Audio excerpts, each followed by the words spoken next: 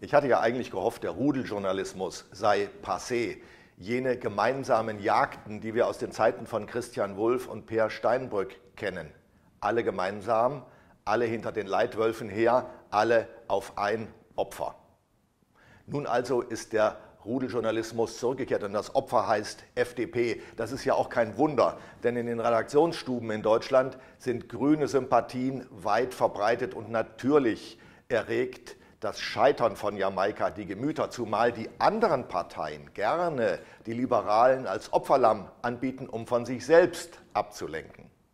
Christian Lindner, heißt es also, habe kurz vor dem Durchbruch die im Prinzip erfolgreichen Sondierungen gesprengt und äh, das Ganze äh, heimlich von langer Hand vorbereitet. Ach ja, heimlich hatte er nicht öffentlich gesagt, dass an diesem Sonntag bis 18 Uhr ein Ergebnis erzielt sein müsse. Er hat das am Morgen dieses Tages nochmal den Spitzen von CDU und CSU gesagt und Horst Seehofer antwortete, man werde, falls es soweit komme, am Abend gemeinsam gehen.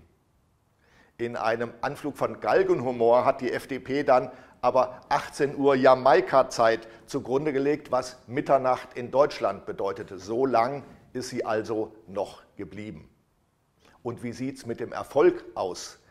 237 Positionen auf dem Sondierungspapier waren am Ende noch offen. 237.